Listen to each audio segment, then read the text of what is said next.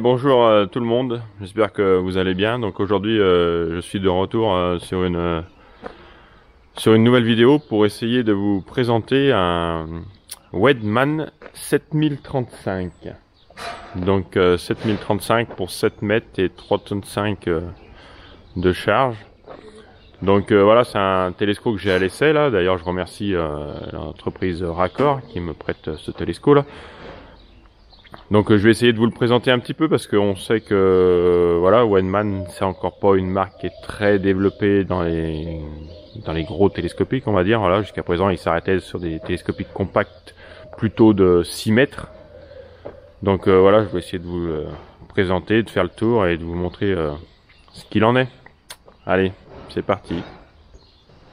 Donc voilà, donc voici ce télescope. Donc dans un premier temps, première approche, donc on peut déjà dire que Bon, esthétiquement, euh, c'est plutôt pas mal. Voilà, après, chacun ses goûts, mais euh, c'est, on va dire que c'est, assez bien fini. Donc, comme je vous l'ai déjà dit, donc voilà, un 7 mètres, c'est dans les gros modèles. 3 euh, tonnes 5, ils font un modèle au-dessus, 4 tonnes 2, pour un peu plus de puissance de, de levée. Allez, on va faire déjà un premier tour en cabine. Donc une grande porte. Alors euh, on peut déjà voir que c'est une porte qui a une petite particularité, c'est qu'elle se coupe pas en deux, comme très souvent sur les télescopes. Mais ils ont mis euh, deux euh, vitres coulissantes. Une devant et une à l'arrière. Donc on peut ouvrir devant, derrière, les deux côtés. Donc voilà. a priori ils ont fait ceci pour éviter qu'on les laisse ouvertes et qu'on les salisse. Donc voilà. Peut-être pas une mauvaise idée. Donc ensuite, on peut aussi voir qu'on a deux grands marchepieds. Donc voilà, avec une cabine qui est avec une bonne une bonne entrée en cabine. Voilà, on monte à l'intérieur. Premier aperçu. Donc déjà, on peut s'apercevoir qu'on a un, petit volant. Le volant, il est assez petit. Et il est légèrement décentré sur la gauche pour être, on va dire, un petit peu mieux aligné avec la, main gauche. Et ben, à l'essai, on dirait que oui, c'est pas gênant du tout. Et on peut aussi remarquer qu'on peut faire très peu de tours de volant pour avoir, euh, pour aller d'une extrémité à l'autre. Voilà. Il a un rayon de braquage assez important et on a besoin de faire beaucoup de tours de volant. Voilà, c'est ça que je voulais dire. Donc là, on a les boutons euh, traditionnels pour les différents modes de conduite des roues. Après, on a l'accoudoir, je sais pas si on voit très bien là, mais qui est, qui est, euh, qui est solidaire du siège. Donc voilà, c'est agréable. On a le joystick qui est solidaire, mais aussi tout ce boîtier de commande là. Donc euh, on peut voir aussi que ils ont des codes couleurs. Tout ce qui est vert, c'est tout ce qui est hydraulique. Tout ce qui est orange, c'est transmission. Comme là sur joystick, c'est l'inverseur. On a le frein à main aussi en orange. Et puis après, il y a les couleurs grises. Les couleurs grises, c'est plutôt pour euh, pour tout ce qui est feu. Voilà, comme là, par exemple. Ça, c'est les feux. Donc voilà, pour ce qui est une petite première approche euh, de la cabine, on a bien sûr, comme ça se fait souvent maintenant, euh, un ordinateur de bord. Par contre, là, on est à contre-jour, on voit pas grand-chose. Il faudrait que je me mette dans un autre sens, je pense. Donc voilà, l'autoradio, il est sur le côté, là.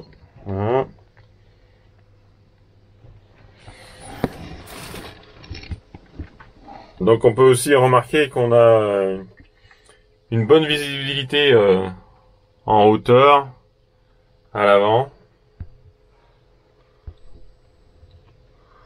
Donc voilà, donc c'est une cabine à, à seulement 4 montants, ce qui permet d'avoir une bonne vue. Et on voit aussi qu'on a un capot sur le côté qui est très très bas et profilé. Ce qui permet d'avoir une très bonne vue sur le côté et sur l'arrière. On peut même s'apercevoir qu'on a la vue sur la roue arrière droite.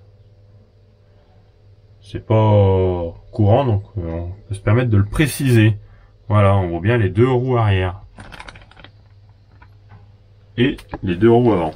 On, peut dire qu'on a une vue sur les quatre roues.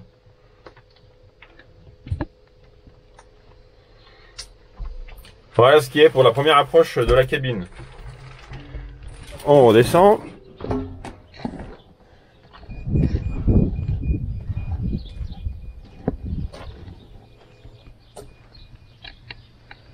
Voilà, une vue sur la vue avant.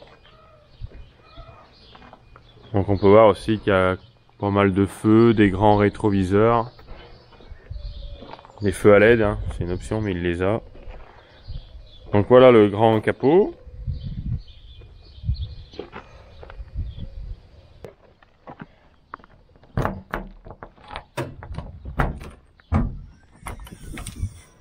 Donc voici le compartiment moteur, donc euh, bah, comme très souvent un moteur 4 cylindres, Perkins.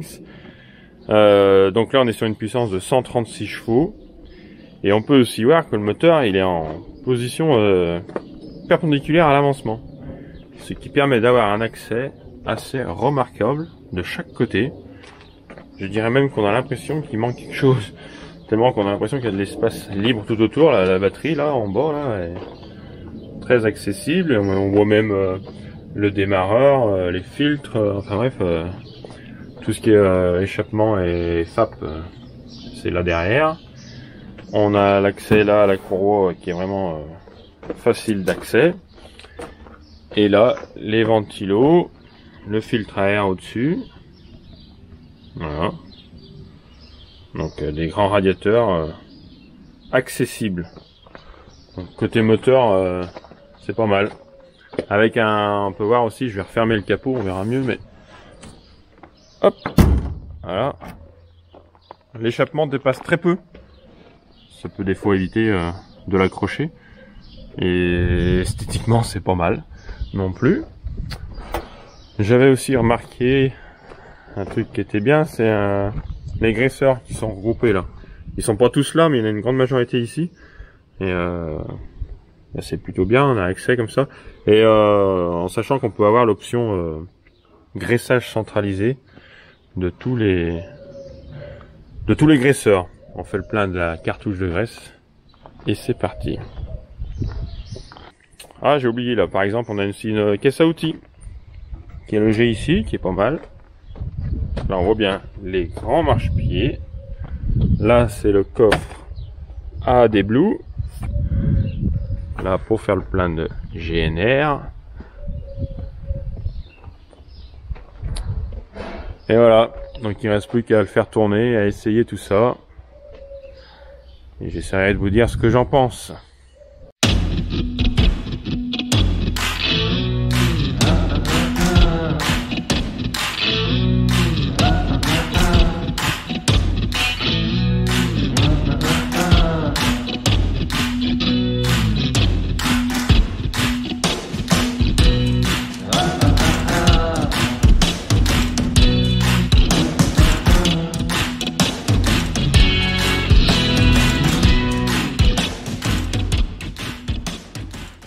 Donc euh, là j'ai attaqué par le fumier.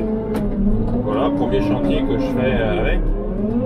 Donc euh, malgré les premiers tours de rouge, j'ai encore pas tous les réflexes, c'est-à-dire qu'il y a quelques commandes qui sont inversées par rapport aux miens, donc forcément je, suis encore pas très performant on va dire, mais malgré ça, euh, ça va quand même pas mal hein, dans, dans la terre grasse, là, dans le tas de fumier, ça pousse.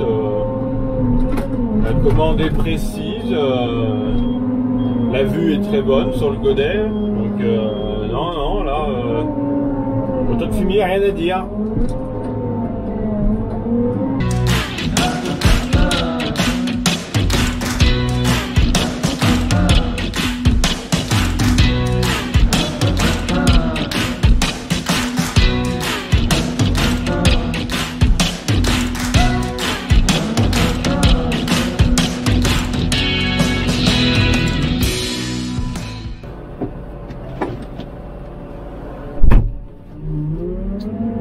Je suis à la réalisation du bol là pour mes vaches.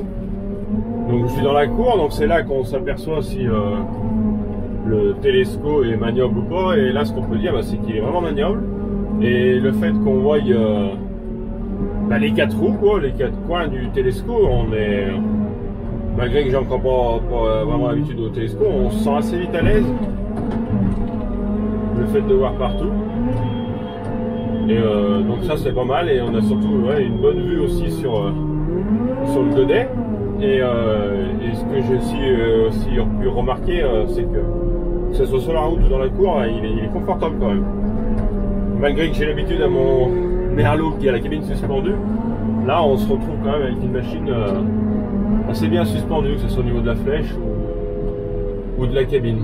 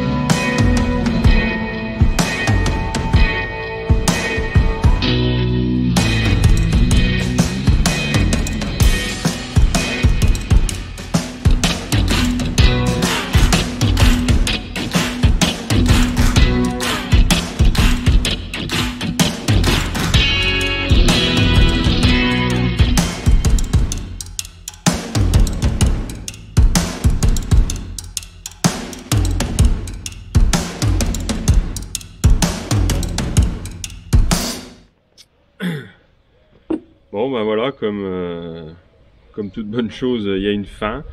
Donc euh, j'essaye de faire un petit compte rendu de cet essai. Donc euh, déjà je voudrais remercier les, établissements euh, Raccord hein, qui m'ont fait ce prêt là. Donc déjà merci à eux. Et après ben, pour parler de la machine, on va dire que je suis assez content de cette machine. Pour plusieurs choses. Déjà sur la visibilité, on a une visibilité sur le godet à l'avant qui est très bonne. On le voit bas, parce que le pare-brise descend assez bas. Et puis le pare-brise est large, voilà. Donc je trouve qu'on a une bonne vue sur le, sur godet, mais aussi sur la machine en général. C'est-à-dire que le fait de voir les quatre roues, c'est relativement agréable et sécurisant. Donc ça déjà un bon point. Après pour ce qui est de la montée et descente, ça aussi c'est sécurisant et agréable parce qu'il y, y a, très peu de marches et elles sont larges, elles sont euh, voilà, euh, on se sent en sécurité quand on monte et quand on descend et, et ça c'est plutôt bien. Euh, ensuite, que dire euh, sur la stabilité Donc pareil, il est quand même relativement large et long, ce qui fait qu'il est qu'il est plutôt stable et malgré ça, euh, malgré cet épatement long et large, il est relativement maniable. Donc euh, j'ai essayé moi de faire demi-tour dans mon silo de 9 mètres de large. On fait demi-tour sans problème. Donc il a un rayon de braquage qui est vraiment intéressant. Donc pour ça. Alors d'aujourd'hui, le seul petit bémol ce serait peut-être sur la transmission, malgré qu'elle soit hydrostatique. Moi je trouve qu'il faut monter un peu dans les tours pour le faire décoller. Après une fois parti, ça va.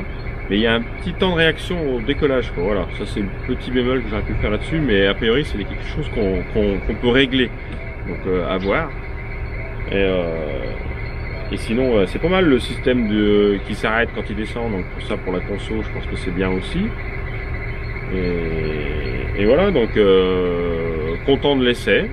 Euh, J'espère que vous serez aussi content de la vidéo et, et voilà, nous dire ce que vous en pensez et si répondu à vos attentes et voilà.